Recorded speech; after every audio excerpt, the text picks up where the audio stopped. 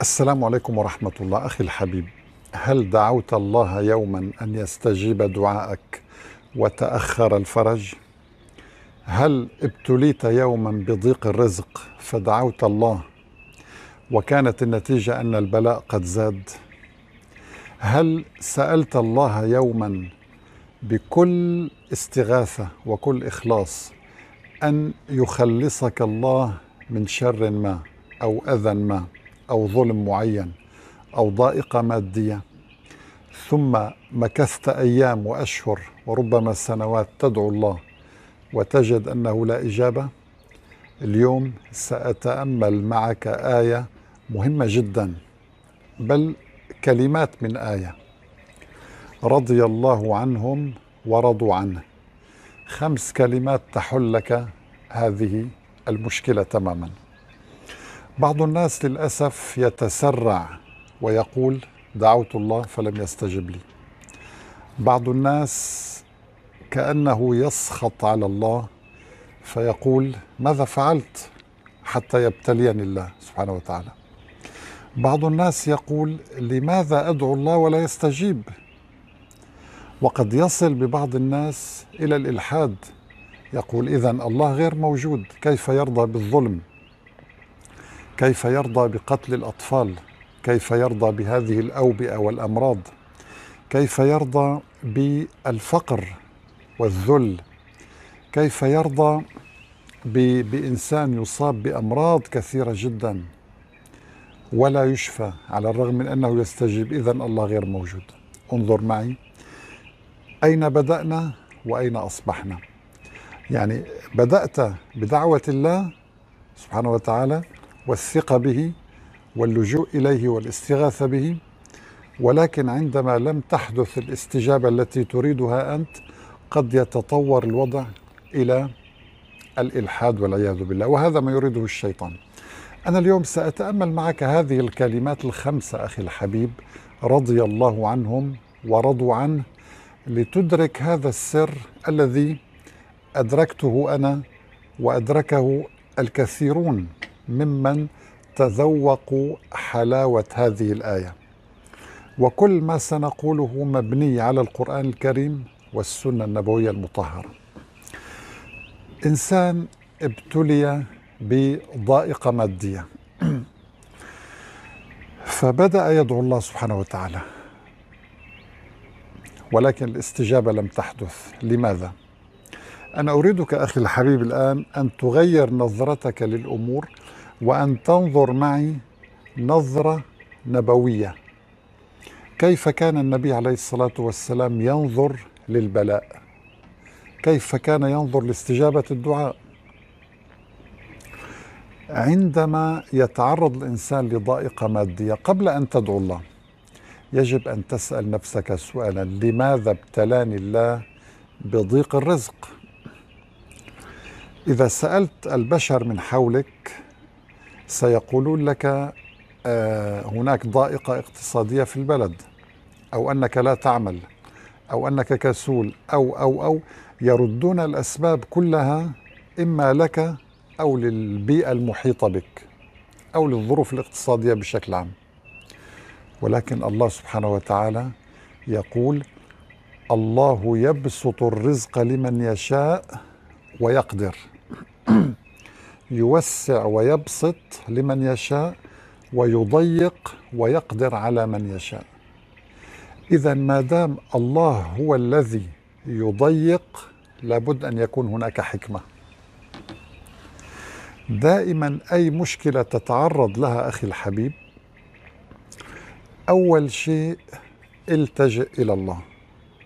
وابحث عن الأسباب. طيب لماذا اختارني الله عز وجل؟ ليبتليني في هذا الوقت بهذه الضائقة المادية. إذا لابد أن هناك سبب وأن هناك شيء أراده الله. طيب في كل القرآن إذا قرأنا القرآن آه، يريد الله بكم اليسر ولا يريد بكم العسر. كل آيات القرآن تدل على أن الله يريد لنا الخير ويريد لنا السعادة ويريد لنا الحياة المطمئنة هذا الإله العظيم يحبنا. وإلا لما لما خلقنا أصلا. طيب بعد أن دعوت الله ولجأت إلى الله الله ينظر إليك في هذه اللحظة وأنت ظروفك ضيقة جدا ولكنك تدعو الله وتتقرب من الله وهذا ما يريده الله منك. لاحظت أخي الحبيب اذا هنا أنا بدأت أدرك سببا مختلفا تماما عن الظروف المحيطة بي.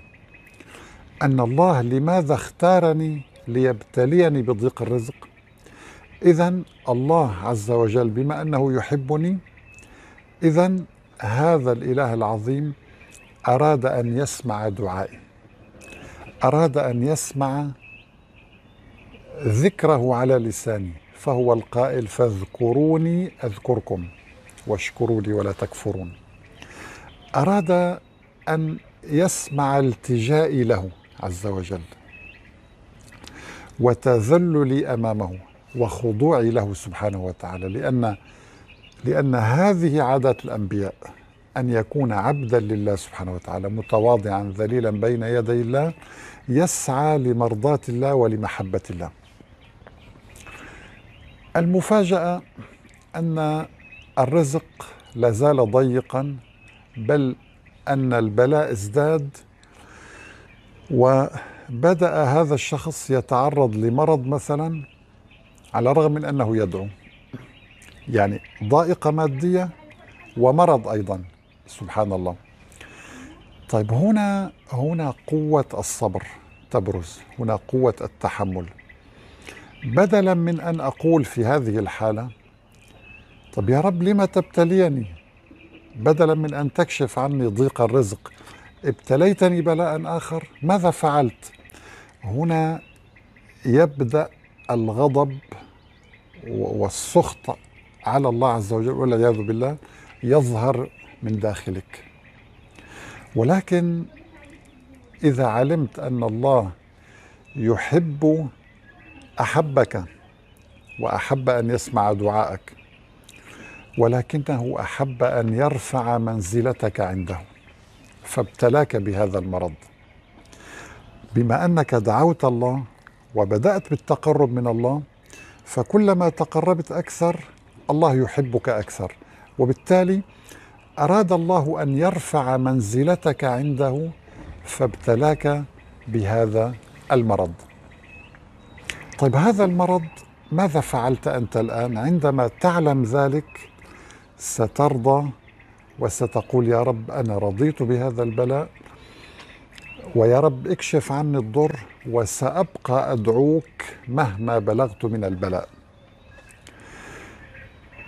بعد فترة تجد أن الله قد يصيبك أيضا ببلاء آخر ظلم تتعرض له من أهل بيتك أو أذى تتعرض له من قريب لك أو في عملك.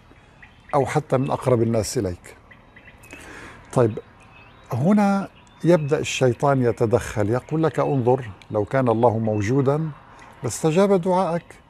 لماذا تدعو الله والبلاء ينزل أكثر؟ في هذه الحالة أخي الحبيب يجب أن تنظر إلى البلاء على أنه هدية من الله لك.